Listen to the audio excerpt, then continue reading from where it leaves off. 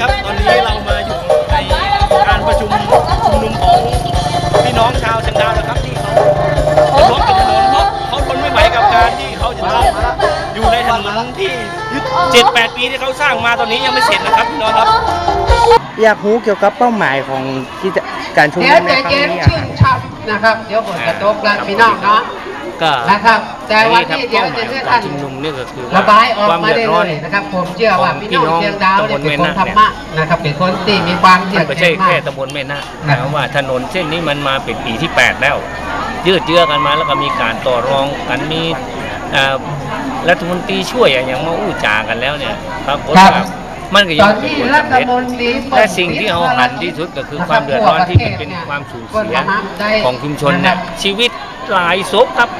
เพราะว่าถนนต่างระดับอันอย่างตัวอย่างนี้มาและทีนี้ในสิ่งเขาเป็ที่นอย่างครับชาวบ้านพี่เขาองเห็นทอดเอามาเป็นอย่งเอาหันเนาะชัดๆเพราะว่ามันเลยเป็นก็คือว่าประชาธิปไตยทำวันเว้นวันน้ำมันครับขาดน้ำมันหายแสดงขอโทษบริษัทสหมิตรนี่ไม่ใช่แต่ว่าต้องบริษัทยากจนนะครับมีข้อกฎหมายมันทำต่างประเทศที่ไม่ว่าใช่อยู่ในประเทศไทยอย่างเดียวผมเพจะราะฉะนั้นเนี่ยยกเลยเนอะมันมันนะคกัรับบว่าน่ายืดเยื้อขนาดนี้เนาะ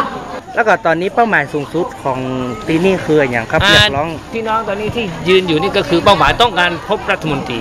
ซึ่งตอนนี้รู้ว่ามาอยู่ที่แค่บางมะพร้าวนี่เองอ๋อเราไปต้องขึ้นเรือบินครับติวมานี่หน่อยเดียวแค่นั้นเองเพราะฉะนั้นเนี่ยก็จะต้อง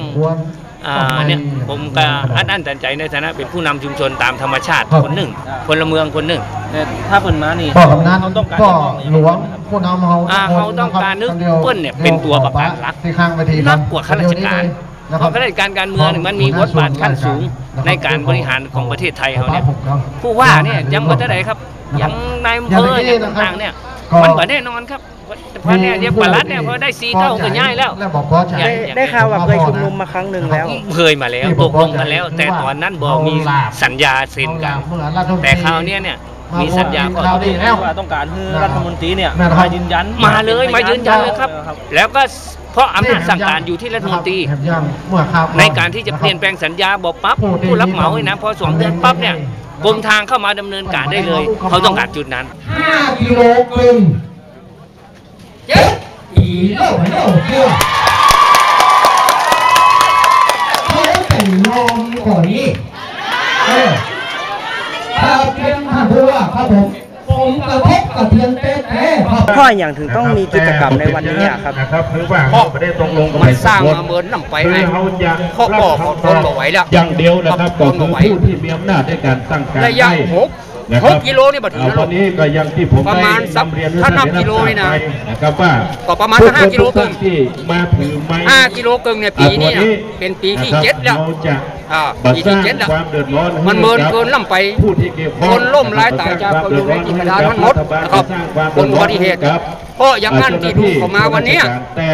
แต่ว่ามีอามิตสินจ้างว่ามีหน่วยงานไหนที่มาสนับสนุนอ่าถ้าเขาได้รับคือเป็นคำตอบคนของที่ชัดตำบลเจแม่นนะเรียบร้อยแล้วนะครับอำเภอเชียงดาวจะสลายกันและทันทีอำเภอใกล้เคียงแต่เมื่อ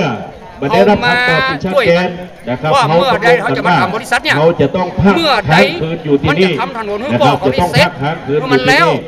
นะครับแล้วก็เนี่ยกระทบกระเทือนมากขอทำควเข้ใจกับพี่คือน้องบ้านของเขาอยู่ใกล้เจ้าถนท่านใหญ่ทั้งหลายนะครับว่าบอกเดินเบาต่างวางๆโต๊ะนะครับ ขอร้องวางโต๊ะนะเสคร็รัจบอย่านำเข้ามาเอามานะกครับบเพราะฉะนั้นท่านก็ขอถ้าเชิญเป็นนะครับไปได้นะถ้าพี่เปลี่ยนได้พ่ออยากคจะรับคือเปลี่ยนบริษัทไม่นี่ต้ฮะองกลัวเพราะมันเกินคนลงไปรอบริษัทนี่พ่อจะเปลี่ยนชื่อพ่อก็ยังบอกหูชื่อว่ามันชื่อไอ้หยังบริษัทนี่พ่ออย่างนั้นพ่อจะเปลี่ยนชื่อว่านี่บริษัทเตาบริษัทเตาคือมันเนี่ยจ้ามากนะครับผม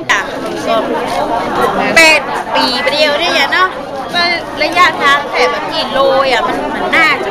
เมินขนาดนี้อะเนาะบางบ้านปีทำให้ขึ้นได้เลยนะ โอ้แงนขึ้นนี่เลยอะตังตัดไปอะ